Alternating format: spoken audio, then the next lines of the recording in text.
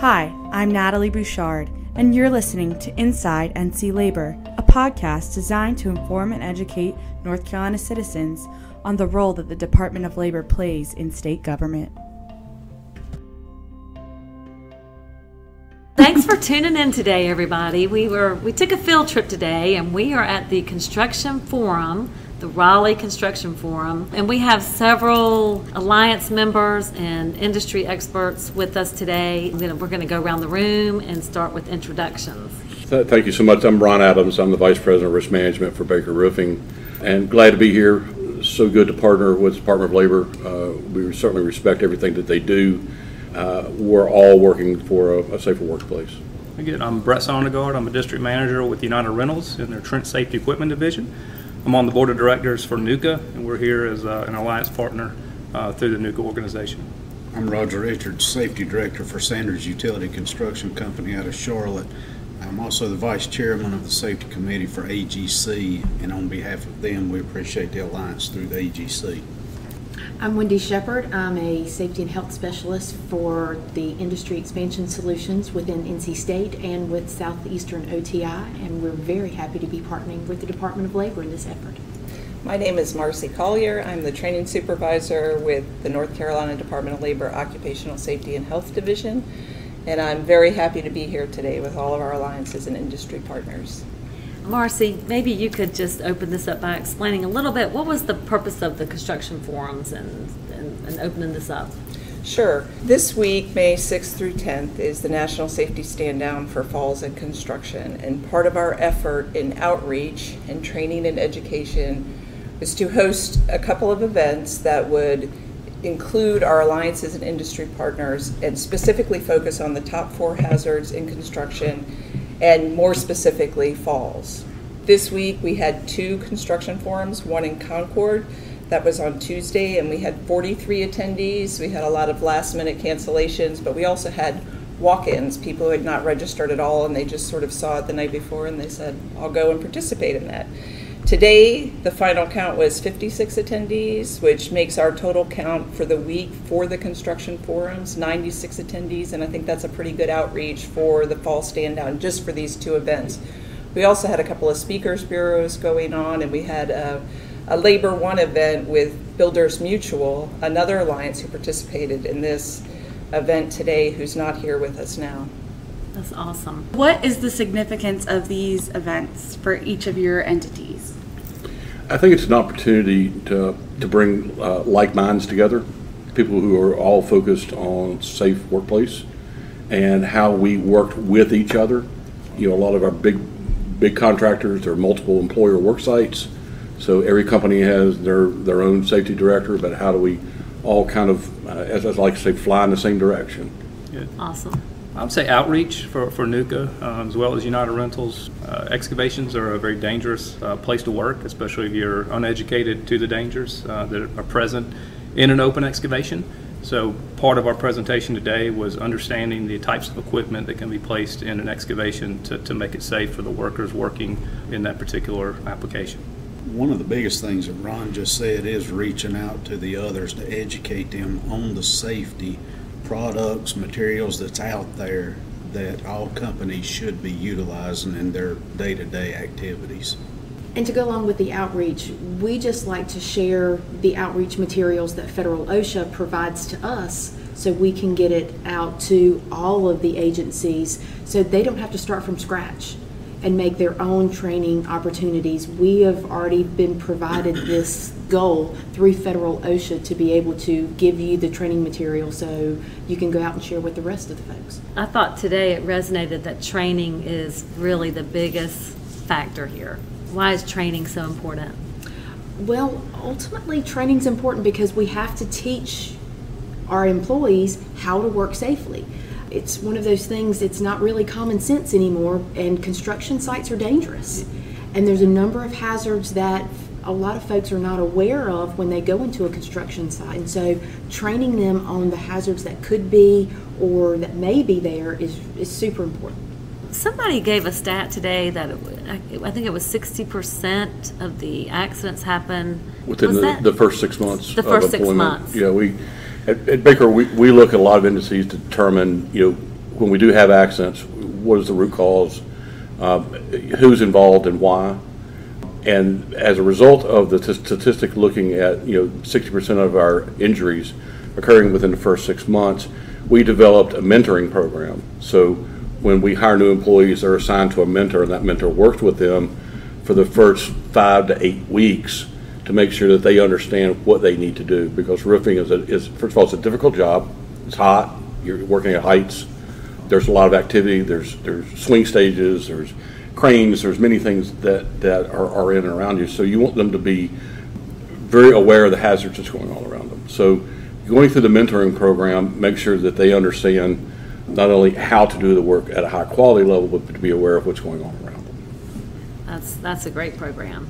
That's, And each company should come up with a way, and I like that, Ron. Mm-hmm. What we do at Sanders is when a new hire comes on and goes through orientation, he's presented a green hard hat. Right. He's a greenhorn. So it does not matter which crew he goes to or if he's moved from crew to crew, they know how to recognize a new employee versus a seasoned employee up to a foreman by the colors of the that's hard hats. That's a great idea. So that program, it's all left up to his foreman when he per se graduates to a blue hard hat. It could be three months, it could be six months, it could be a year till that foreman feels like he has that education at what we do and can recognize the hazards prior to him moving That's up to a blue hard hat. Are you all seeing improvement there? Yes. Great. Wendy, did you have anything to add there? or- That's what we're seeing whenever we do our training initiatives through Southeastern OTI, when we're doing our authorized trainers, and when we're seeing all these new folks coming through and trying to learn the standard, but then ultimately trying to teach the standards when we do our classes, and it's difficult. One of the things we also recognize is that we have daily huddles every morning. Every crew has a daily huddle before they start their job. They have stretch and flex. You know, athletes just don't go out and play a game. They have to flex their muscles before they get started. And what we realized is that the foreman was doing the daily huddle every morning, saying, "Okay, we're going to work in this sector of the building. This is what our application is." And uh, everybody signs it because it, they're- have to be within, you know, compliance, right? So we found out that they were pencil whipping it, and so we said, well, how do we change that? Well, what we do is each member of the crew has to do uh, a safety huddle, at, you know, they, they are round robbing it during the entire week. So you don't have one person doing it all the time. And one, we found out from that, once you get even a laborer involved, then they feel like that they're more connected with what they're going on rather than just being, you know, Ron, pick up the trash guy.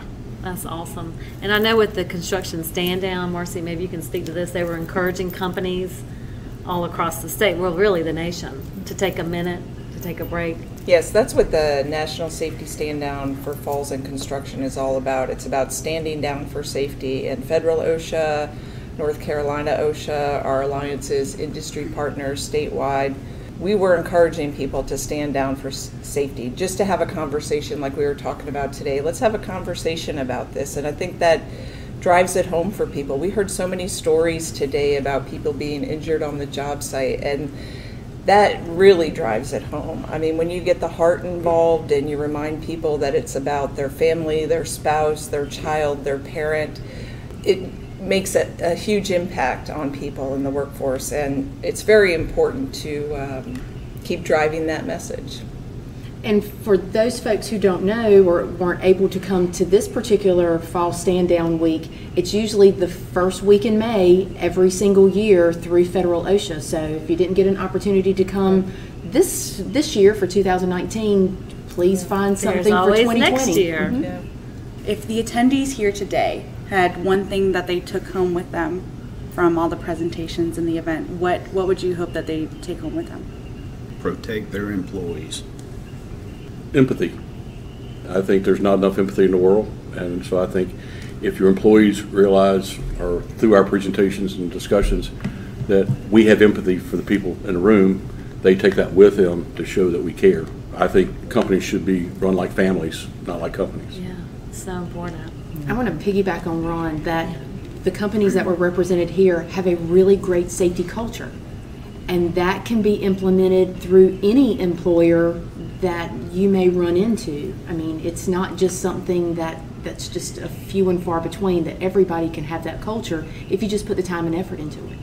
I would go farther to say I think general awareness of the dangers present in some of the topics that were covered.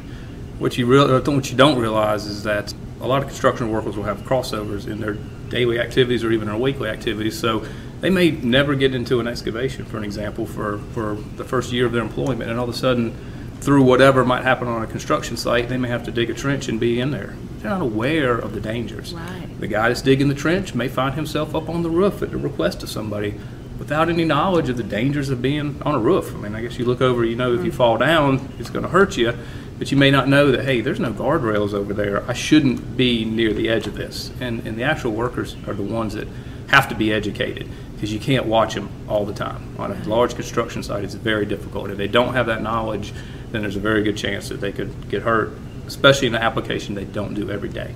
And it's just that split second.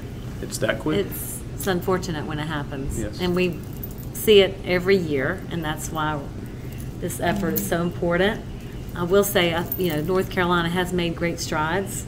I know that we've mentioned this before, but the injury and illness rate for North Carolina is, for private industry, is at an all-time low. Thanks to the help of the alliances and the organizations that we work with, the North Carolina Department of Labor, Marcy with Education, Training, and Technical Assistance. It's a team effort. We hope to continue this for many years to come. And maybe one day North Carolina will have zero falls. Mm-hmm. Maybe we'll see that day. I think from the OSH perspective, we want people to know that we're not just regulators. We care. Most of the people that work for us do it because it's a passion for them, not So because true, there's yes. big money in it. We're all working for the state. Most of the people who work for us care. We really care. We're not just regulators, and we want people to get the information they need so that they can be safe at work. It's very important. There is a former standards officer and federal compliance officer that used to work for us that said something to me when I first started, and he said, Most of these standards are written in blood. And that really drove Oh, it wow. home for me Yeah. that these mm-hmm. standards were written because someone was injured on the job or there was a fatality on the job. And it's so important to know that even though we're a regulatory body, we care. We're out there preaching and teaching and sending that message because we really care about what's happening on the job site. It's so important. Just to go along with that too, companies has got to realize too that if they're not sure of something, pick up the phone and call your local OSHA office. They're there to help. They're not there to bash you or whatever. But if you're not sure of a regulation or you're not sure of PPE that you need to get or something like that, reach out to them. They're glad to, to give you that information. Thank you. That's so true. And uh, speaking of which, Natalie, why don't you mention some of our social media outlets out there? Because a lot of information, and even our website, that it's available. You can follow us or you can access information through our website. So our website is labor.nc.gov, and we have Twitter, we have Facebook, we have Instagram, and of course this podcast. You're probably listening to it on YouTube, and those are all just resources that we use to get the word out. Wendy, you mentioned you have a wonderful new program for the younger generation. Through the Susan Harwood grant through Federal OSHA, we actually have a uh, Young Workers Initiative specifically for construction, and you can find that through Southeastern OTI, free of charge. Basically, just scroll down to the bottom of the page and find those initiatives along with our agricultural safety initiative, Tractor Talks, that we have. So, all of those are free for you guys to download. That's awesome. Does anybody else want to share their website or any information about your business before we wrap this up? One of the things that Baker is so very proud of, we've been on a, uh, on about a nine-year march uh, to try to get our experience modification factor down to .60, and we just found out last week it is .69, which is the first time that's been below seven. Now, what does that mean? That means that we're saving hundreds of thousands of dollars in workers' compensation premium, but it also differentiates us from our competition most general contractors now, when they're hiring subcontractors, are looking at your safety record. They want to know how many OSHA inspections have you had, how many serious or non-serious violations have you had. They want to look at your experience modification. They want your at your TIR rate and your DART rates. And Ours uh, at Baker Roofing are 20% of national averages. So that gives us a competitive edge with our, our contracting partners that, that our competitors don't have. So when it says safety pays, it does. It, it puts hard dollars back into the pockets of, of the stockholders and the owners of your company. It's a great point. Thank you guys for tuning in, and thank you all for being here. This is super important, and we're glad that we could have this talk. Thank you. Thank you so much. We appreciate it. Thanks so much for tuning in, y'all. Remember, your safety is our priority.